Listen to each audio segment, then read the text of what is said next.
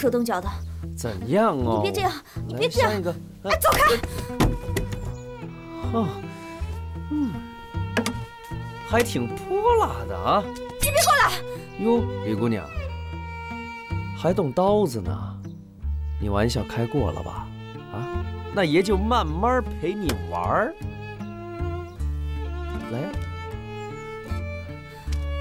刺我呀，刺我呀，来呀，刺我呀！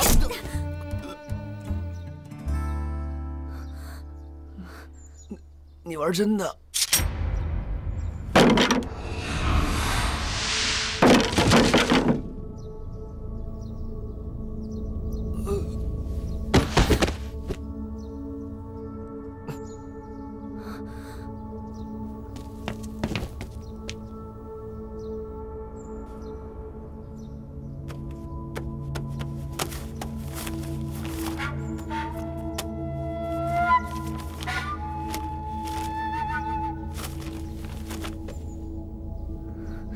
回你相信我了吧？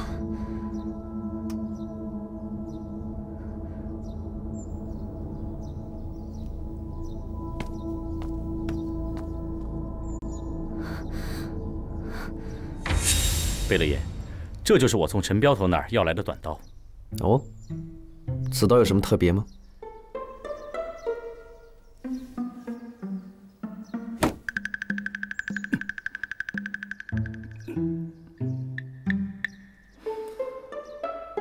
贝勒爷，请看，有了这把刀，就可依贝勒爷的安排行事了。这是一种特别的明矾水，涂在书页上两个时辰，字就会消失不见。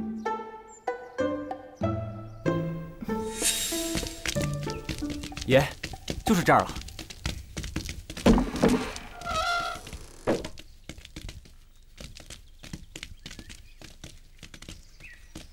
有人吗？有人吗？有没有人？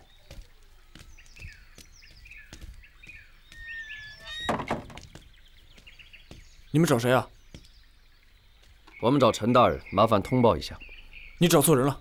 哎，哎，干什么干什么？就说宝贝了来访，他心里清楚的。去吧。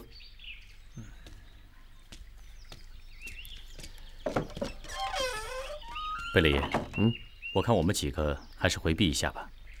不用了，有你们在，正好做个凭证。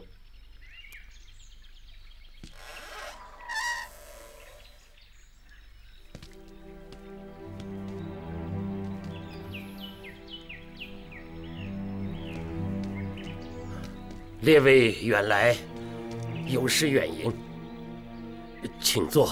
哎，坐就不用了，陈大人。突然造访，还望见谅。这位公子，怕是您认错了人了吧？鄙人不姓陈。陈大人，既然我来了，就有来的道理，您何必否认呢？啊，贝勒爷是怎么找到这里的？有句话说的非常好：“江山易改，本性难移。”这几十年的习惯是很难改变的。您爱吃豆腐，对吧？就犹如我爱吃这棍棍糖一般。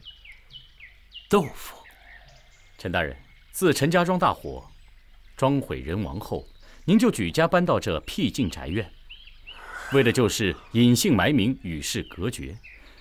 只可惜这海宁的豆腐着实好吃，陈大人自然割舍不下。我听豆腐店的伙计说，陈大人爱吃豆腐。所以我用心地留意了一下，后来经我推测，您并没有葬身火海，人还在海宁。我想，您是留恋着豆腐吧？唉，都怪我贪吃啊！陈大人，想吃豆腐没有错啊，但是您为什么让魏知县令十名死囚服毒自尽呢？再将这死尸送至陈家庄，令天下人误以为陈家人葬身火海，你这样做是为了掩盖什么呀？呃，鄙人并不想掩盖什么，只是人言可畏呀。我不过是为了躲个清净，不得已而为之啊。陈大人心思缜密，真是滴水不漏啊。虽然十具尸体皆是死囚，可是魏知县，魏知县该作何交代呢？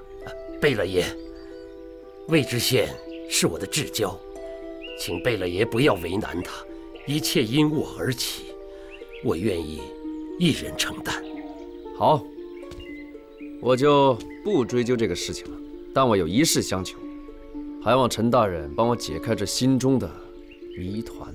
贝勒爷，请问是何谜团？我又如何为你解开？我近日找到一个蹊跷的记命符，符中说到我的小名元寿，以及八字。符上写的父母的姓名却是陈大人和一名叫梅莲英的女子。陈大人，你作何解释呀？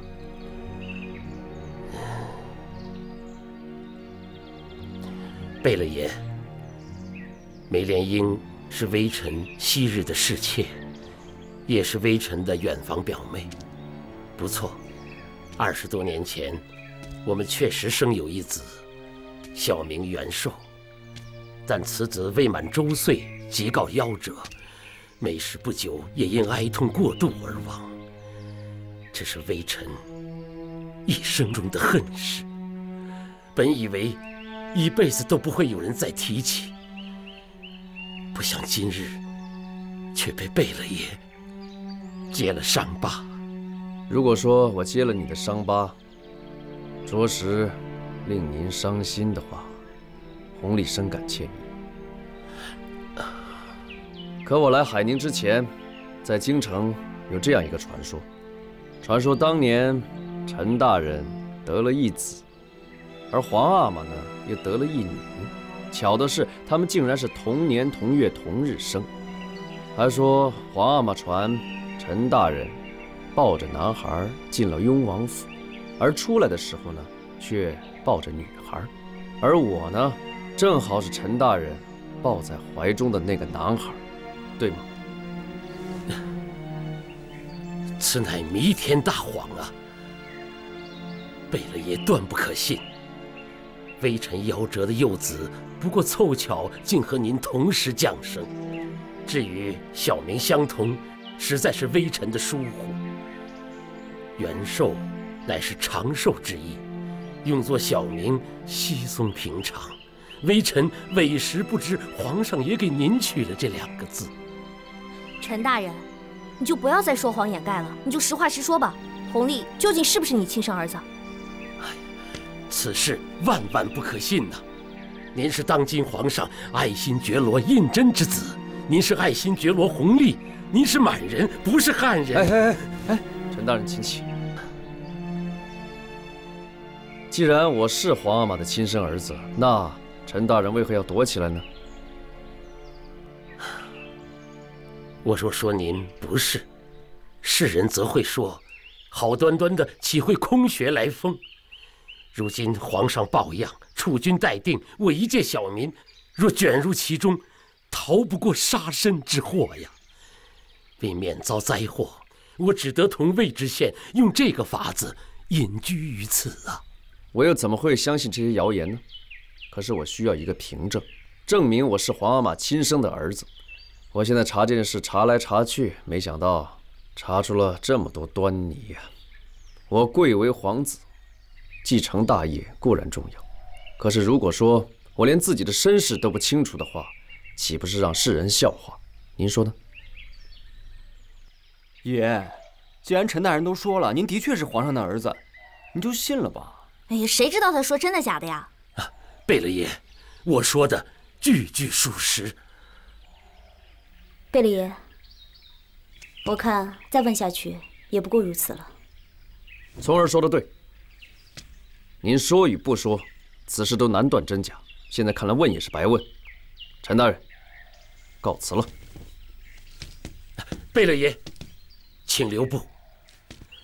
微臣虽不能为您解惑，却有重要的线索告诉您。贝勒爷，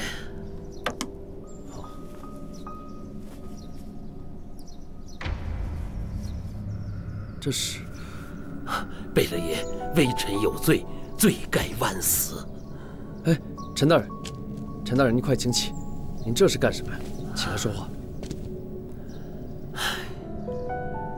实不相瞒，贝勒爷，贝勒爷刚才所说的那个关于您是我亲生子的谣言，在您出生的时候就曾经有过。当时的皇上还是雍亲王，素有铁面贝勒爷之称。微臣是雍王府的幕僚，由于我害怕王爷听信谣言责罚我家，于是我就连夜带家人出逃。走的时候，偷走了这份清龙脉地图，并一把火烧了书房。我想着，如果主子追杀我，我就以此为要挟。谁知这么多年过去了，皇上竟从未追究。哦。我离开京城的时候，皇阿玛跟我提起过。我一直以为这藏宝图在洗髓经里面，没想到这大清龙脉图居然在陈大人这儿。可是我不明白，这跟我的身世到底有何关系呢？啊，贝勒爷有所不知，大清龙脉宝藏的机关非常特殊，只有爱新觉罗家的子孙才能开启。您不妨亲自去试试，不就能弄清自己的身份了吗？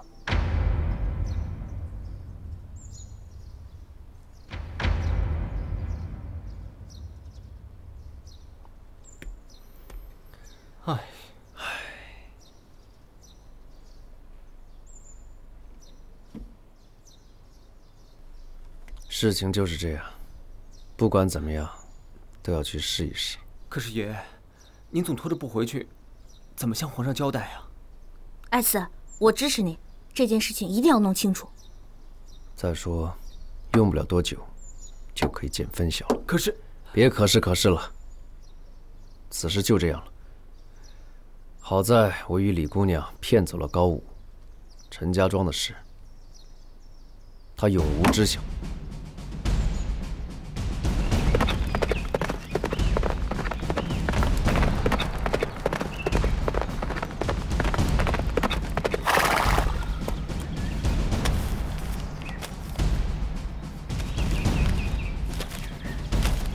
高壮士，我要逃开红利的话，只有你能帮我，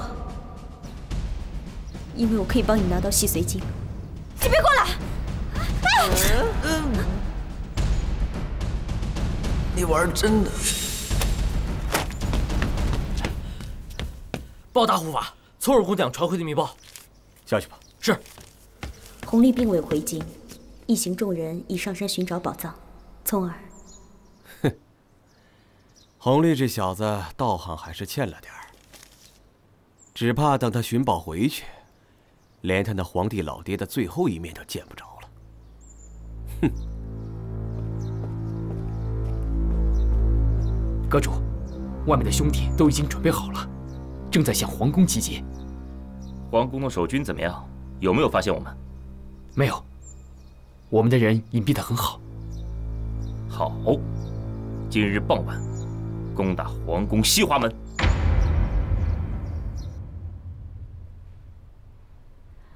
皇上到底是怎么了？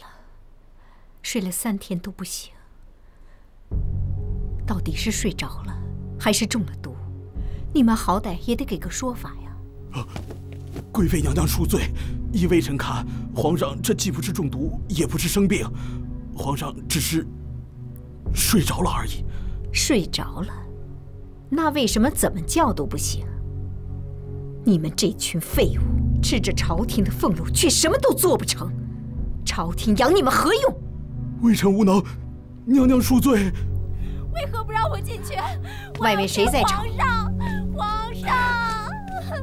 回禀娘娘，是叶贵人在门外嚎哭，奴才怎么劝他都不走。身为贵人，难道连后宫的规矩都不懂吗？在这个时候哭闹，成何体统？给本宫拖出去，杖责二十。这，且慢。儿子给额娘请安。你起来吧。谢额娘。洪昼，你怎么来了？儿子听说皇阿玛昏睡不醒，就立刻赶来。只是，额娘此时先不要责罚玉贵人。怎么了？你可怜他。他不懂规矩，在皇上病重的时候，竟然敢在养心殿外咆哮，难道不该打吗？额娘，我皇阿玛的身体到底出了什么问题，外面都不知情。如果现在责罚贵妃，皇阿玛生病的消息会传遍六宫乃至宫外，后果不堪设想啊！娘娘，何贝勒说的对呀，这个时候千万不能把皇上病重的消息泄露出去呀。你说的对，刚刚本宫是急糊涂了。那你说，本宫应该怎么办？额娘，现在就让御医们对外说皇阿玛身体抱恙，需要闭关修炼，再以图后策。哎，启禀贵妃娘娘，西华门护军参领来报，说探子发现有可疑的人出现，想来觐见启奏皇上。洪昼，本宫命你现在就带人去西华门看看，若有什么人想借此图谋不轨、格杀勿论，有什么需要，尽管来找本宫。是，儿子这就去西华门看看。苏公公，奴才在。命人把所有的门窗落锁，所有人不许进出，和本宫一起为皇上诵经、祈福。这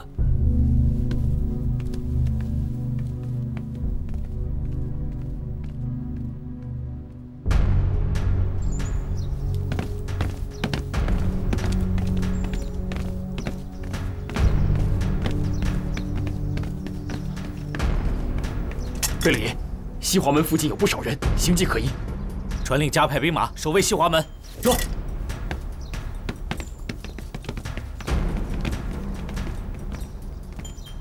拿来。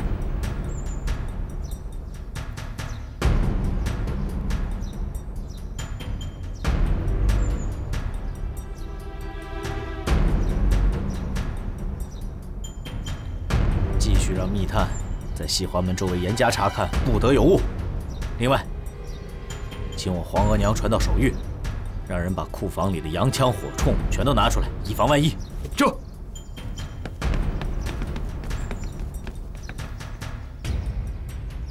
贝勒爷，这事不在我们计划之中啊！这这怎么会？不管了，我们现在首要的就是要严防紫禁城，不能出任何乱子。如果在这个时候皇阿玛出什么事，我们都得遭殃。是啊，你去皇阿玛那边守着，有什么情况立刻来报。这。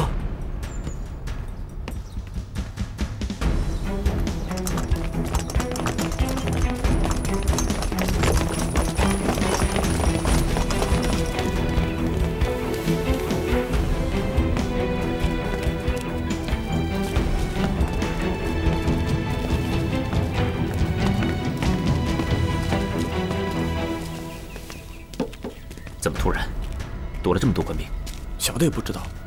阁主，对方会不会已经察觉我们了？哼，那狗皇帝在里面睡得像死了。咱们绝对不能错过这种千载难逢的好机会。可是阁主，他们现在那么多的守军，我们……他们也许只是虚张声势。你带兄弟们冲进去。是。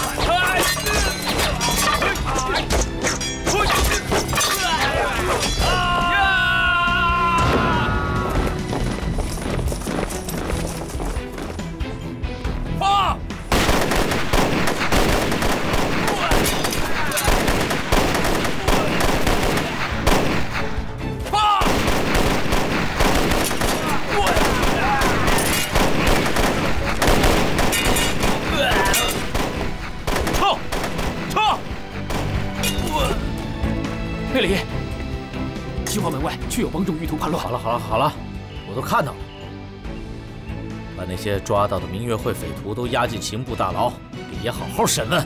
这，额娘，情况就是如此。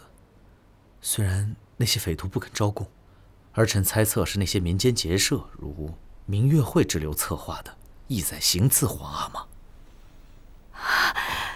真是谢天谢地，佛祖保佑，昨日之事有惊无险，逢君化吉。多亏了有你，要不然本宫真不知道该如何是好。额娘放心，只要有儿臣在，皇阿玛和您绝对不会受半点伤害的。只是内宫之事，儿臣不便插手，还请额娘好好约束嫔妃，勿要让皇阿玛昏睡不醒的消息传扬出去。本宫已经吩咐下去，皇上要闭关修行，任何人不许打扰。若有人敢擅自议论皇上病情，绝不轻饶。如此，儿臣放心了。洪昼，呃，你平时虽然老实懦弱，但你毕竟是皇阿玛的儿子啊。额娘何出此言？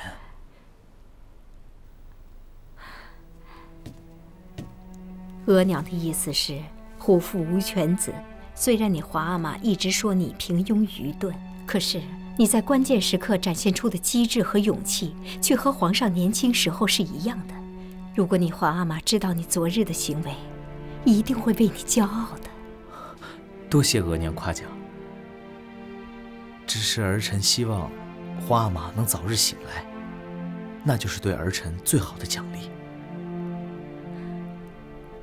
本宫没有看错你。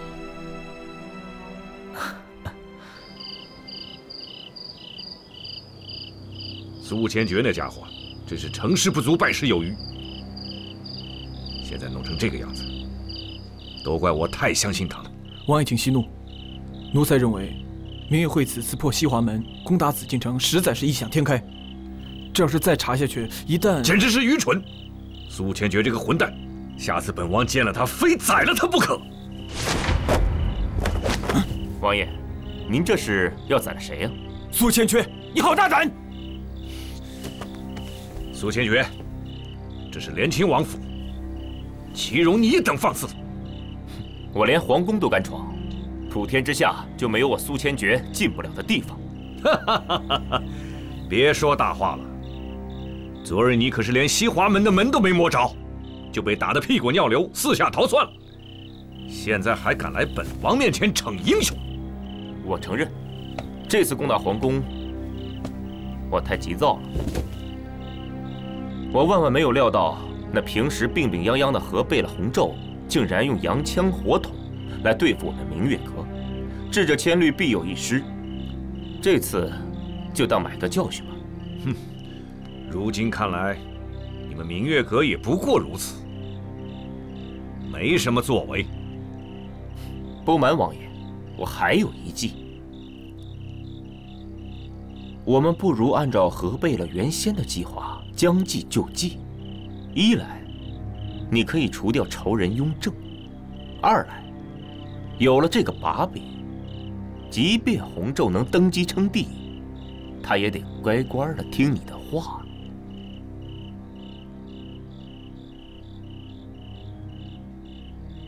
那好，本王就跟你商议商议。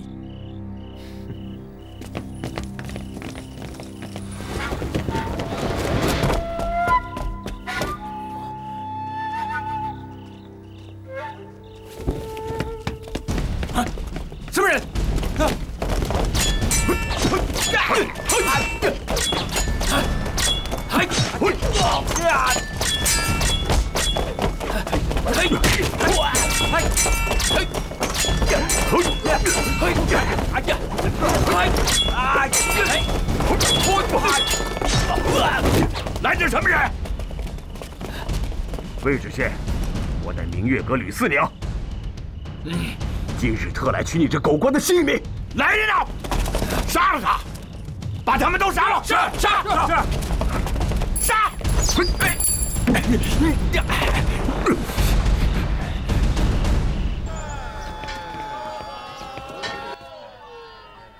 这两个铁环相套，你知道是何意啊？何意啊？何意啊？这是在通明报姓。哎，过来过来，这是个怎么说法啊？你看，这分明是两个口字，两个口字，念作什么？吕啊！不错，是吕字。这吕四娘前阵子闹得凶，如今刚消停一阵，这下又跑出来了。嗯，这县太爷啊，正因为此事忙得焦头烂额。他原来是明月会的人呐。哦，明月会我知道，可这吕四娘她又是何许人啊？何人？是啊，文字狱。文字狱，文字狱，哪一件文字狱？怎么回事？石门吕留良。没错，这位吕四娘呢，正是他的后代。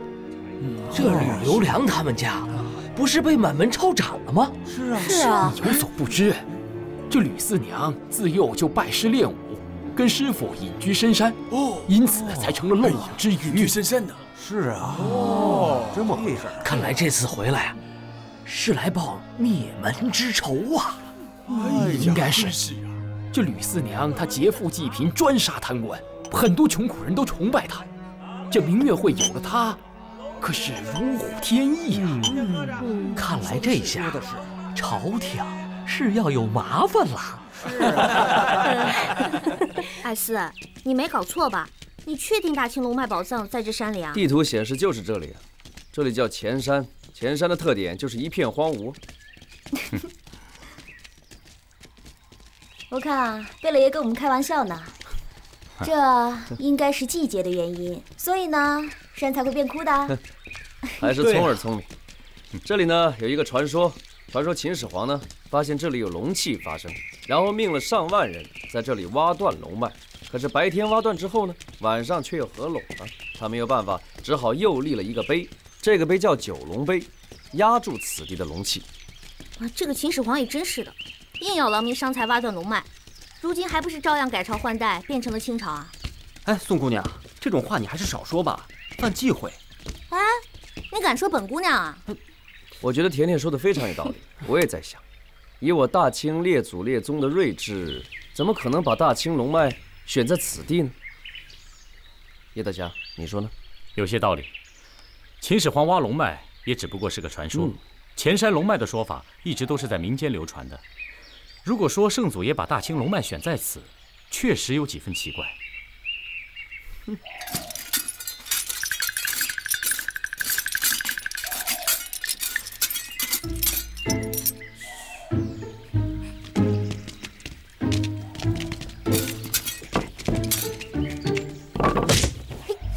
谁？哎。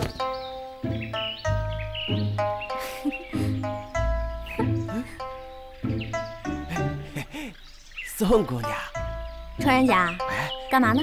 哎，这不我大盗墓，挖挖宝。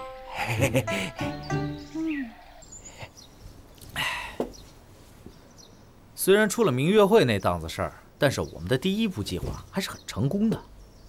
接下来的事情还要仰仗道长您了。好说。呃，贝勒爷，嗯，贫道有一个请求，不知道该不该讲。嗯。你说，你说，本贝勒尽力满足你的要求。既然如此，贫道就直说了。这京城虽好，但这物件儿却是价高。贫道在此租住多时，这手上有些…… 我还以为是什么大不了的事儿呢。管家啊，在。明天把银子给道长送过来。啊，是贝勒爷。贝勒爷，还有一件事。若咱们按照原计划行事，有点行不通了。怎么讲？之前我们的计划中并没有说要去见熹贵妃，现在这个安排危险性增加了。您可否在原来的数目上再加一个“庄”子？可好？行行行，都依你。但是道长，此事务必得给我办妥。那是，那是。告辞。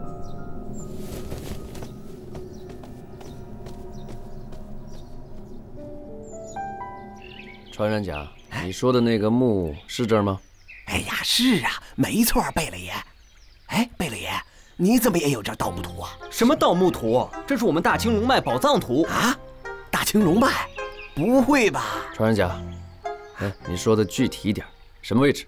哎呀，就是这里，不会错的，我都说好几遍了。哎，前面啊有一座山壁，上面挂的全是藤条。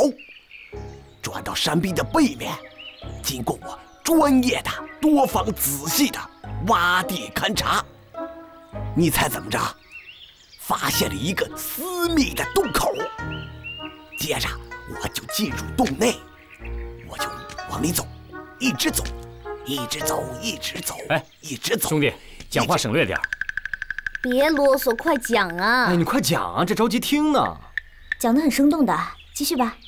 嘿嘿嘿，然后啊，我就这样一直走，一直走，一直走，一直走，走了半天啊，哎，洞穴里面开始变得平整宽阔，哎，就跟家里的墙似的。接着我就再使劲儿往里走，往里走，一直走，一直。哎哎，你就直接说吧，别再走了。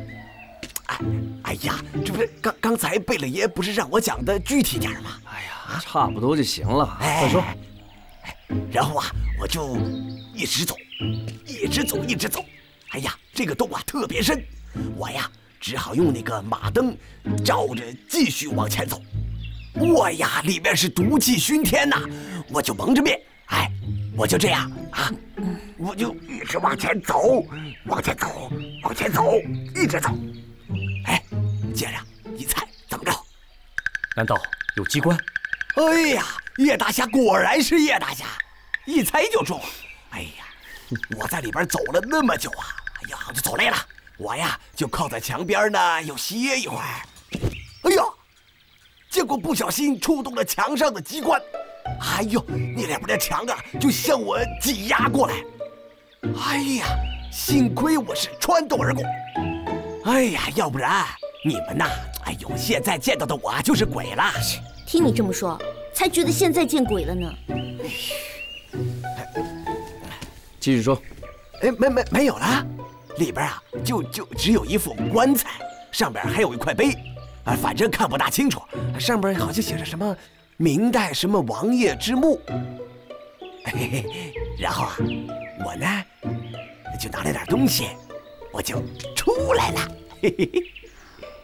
这么说，那个墓不是大清龙脉所在？哎呦，那鬼地方怎么可能是大清龙脉嘛？那明显就是一个墓嘛！哎，别说，那里边的宝贝，嘿嘿，还真不少。叶大侠，照这么说的话，应该不假。如果是真的，那之前陈大人给的大清龙脉图是在糊弄我们。我也是这样想的。穿山甲说的一定是真的了，他讲的很仔细，连细节都有，不像是编造出来的。再说他曾经救过你，现在又何必来骗我们？是。哎，你们俩说什么呢？那现在怎么办？去不去看龙脉了？哎，既然已经到了山前，不如前去看看。若果真如穿山甲所言，到时再做打算吧。哎，走，我带你们去，走走，走。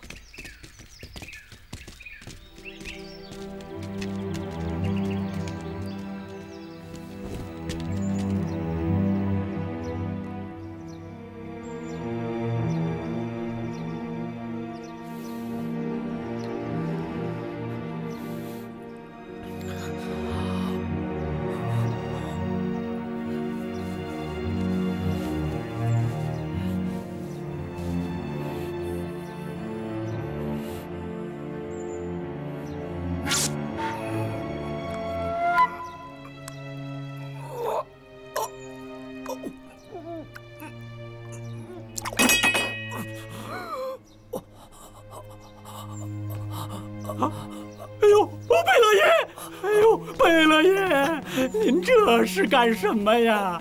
您为什么割自己的肉啊？这样不行，我给您传太医去。哎，不用，你一去，别人不都知道了吗？那怎么行啊，贝勒爷？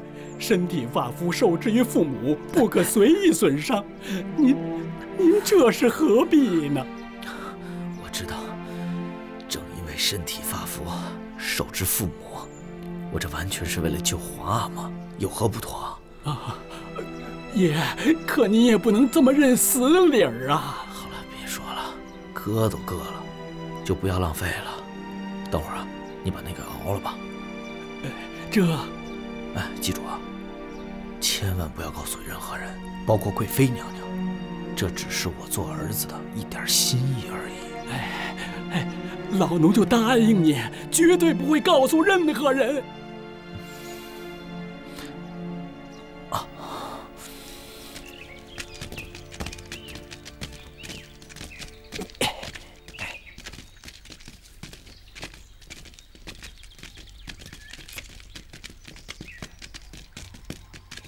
哎哎哎，传人甲，嗯，究竟还有多远啊？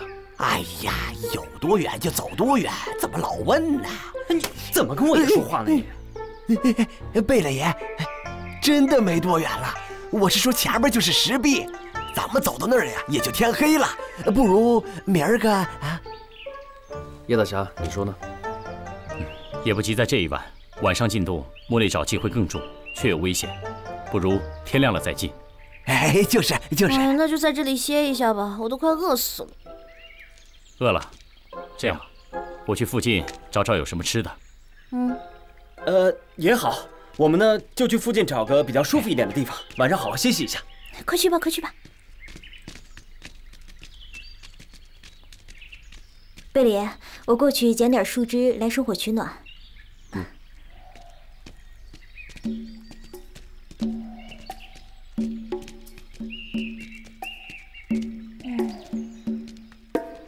饿了吗，甜甜？嗯。嗯，棍棍糖。嘘，小声点，我只有一根儿。还是你好。大护法让我告诉姑娘，咱们天明时分动手，之前千万不要让他们跑了。知道了。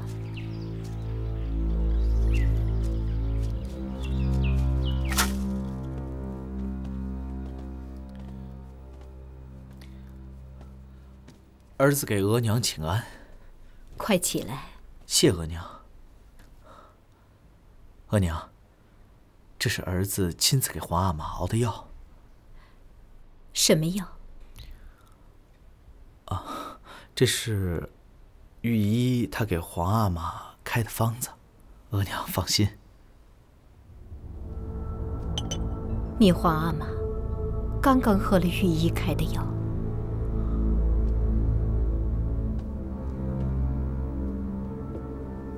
皇阿玛，儿臣给您来喂药了。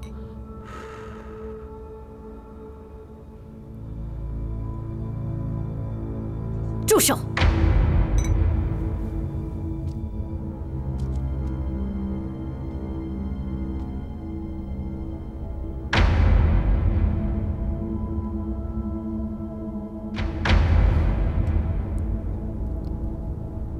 这根本不是你皇阿玛的药，洪仲，你到底想要干什么？娘娘恕罪，奴才不该骗您，这这确实不是药啊！苏公公，娘娘，贝勒爷不让说，但奴才不能不说呀。这熬汤药的，是贝勒爷的肉啊！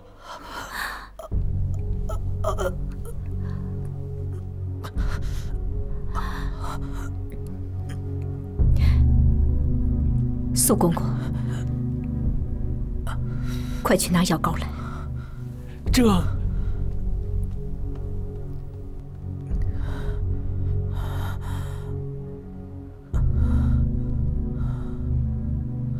你这个孩子，你怎么这么傻呀？要是你皇阿玛知道了，她一定会很心疼不必担心，儿子是从一位神仙道长那里听来了方子。道长说，皇阿玛药石无效，这就意味着是上天的一种警示。说句大不敬的话，皇阿玛在位这么多年，肯定得罪了不少小人。我想，应该是那些小人的怨气，导致了皇阿玛这次离奇的昏迷。可是你也不能割自己的肉啊！